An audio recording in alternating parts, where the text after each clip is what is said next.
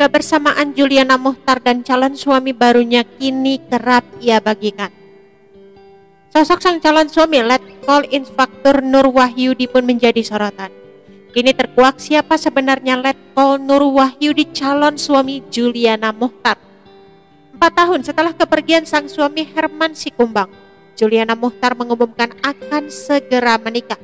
Diketahui Herman Sikumbang yang merupakan personil band Seventeen meninggal dalam tragedi tsunami di Banten akhir 2018 silam. Rencananya Juliana Muhtar akan dinikahi oleh seorang perwira TNI bernama Nur Wahyudi. Lantas siapakah sosok Nur Wahyudi? Nur Wahyudi merupakan seorang perwira TNI yang berpangkat letkol. Nur Wahyudi adalah lulusan Akademi Militer atau Akmil 2001 yang berpengalaman di bidang infanteri. Saat ini Nur Wahyudi menjabat sebagai Komandam atau Kodim Dandim 0603 Lebak sebagaimana yang tertera dalam bio akun Instagramnya. Nur Wahyudi menjadi Dandim 0603 Lebak sejak 5 Agustus 2020 dan menggantikan posisi Letkol Kaf Yuda Setiawan. Dikutip dari Tribun Japar ID, ayah dua anak ini memiliki karir dan prestasi yang gemilang di dunia militer Pasalnya, ditugaskan pertama kali di grup 1 Kopassus Serang selama 2 tahun. Nur Wahyudi kemudian mendapatkan pendidikan anti teror di Jakarta. Pada 2012, Nur Wahyudi berpindah tugas ke grup 3 Sandi Yuda yang tak lain adalah satuan Kopassus yang memiliki spesifikasi tugas perang rahasia. Hingga 2015, pria yang ahli dalam bidang menembak ini menyelesaikan pendidikan di Bandung dan kembali ke grup 1 Kopassus Serang sempat menjadi bagian dari Intel, Nur Wahyudi melesat menjabat sebagai Komandan Batalion 12 Grup 1 Kopassus Serang. Hampir dua tahun menjabat menjadi Danyon 12 Grup 1 Kopassus Serang.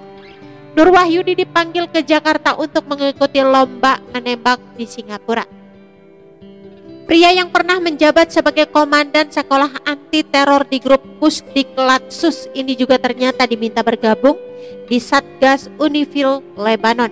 Ia baru pulang ke tanah air pada Januari 2020. Nama Nur Wahyudi sempat menjadi sorotan setelah memaafkan orang yang mencuri ponselnya pada April 2022.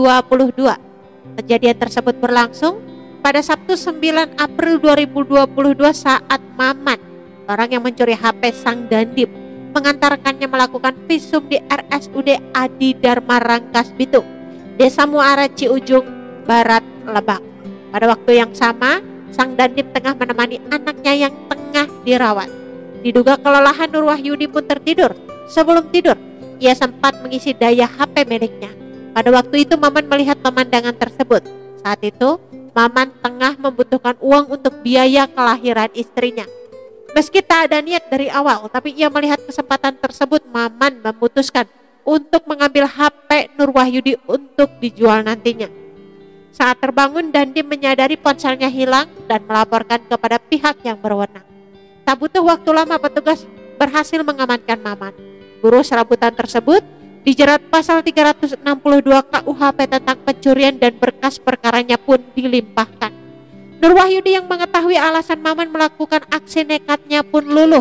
Orang nomor satu di kesatuan Ade Lebak itu memaafkan Maman sekaligus sepakat perkara tersebut dihentikan.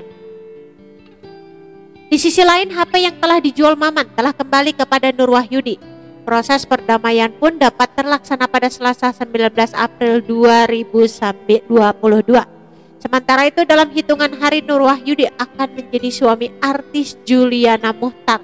Kabar bahagia itu diketahui dari unggahan di akun Instagram Juliana Muhtar pada Sabtu 14 Mei 2022. Juliana terang-terangan membagikan potret kebersamaannya dengan sang calon suami.